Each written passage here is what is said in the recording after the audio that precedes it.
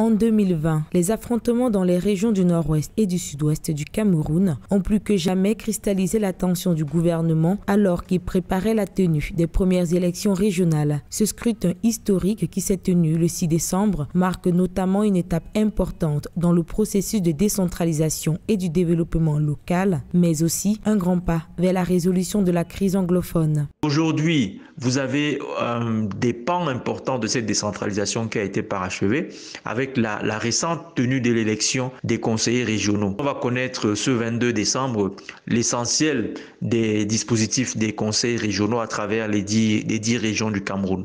Et ça va être un nouveau pas significatif. Il faut que l'État central vraiment joue effectivement le jeu de la décentralisation pour que euh, les communes, les régions et les moyens d'organiser à la base toutes les dimensions du développement, y compris les dimensions qui touchent à la paix, à la sécurité, à l'éducation le 4 novembre 2020, le chef de l'État Paul Biya signait un décret portant organisation et fonctionnement du Conseil national de la décentralisation après la promulgation le 24 décembre 2019 de la loi sur le Code général des collectivités territoriales. Une dynamique parachevée avec l'élection régionale qui confère aux régions et communes une certaine autonomie financière, juridique et administrative. Près de 24 000 conseillers municipaux et chefs traditionnels ont ainsi voté pour désigner 900 conseillers régionaux. Les unités administratives du Nord-Ouest et du Sud-Ouest bénéficient en plus d'un statut particulier. Vous avez toute une série de procédures qui sont en train de se mettre progressivement en place, qui font en sorte que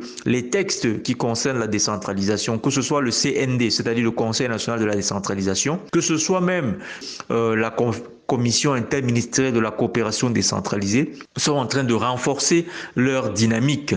Et nous pensons que euh, même si ce n'est pas parfait, euh, il y a quand même une volonté politique qui est là, qui est claire.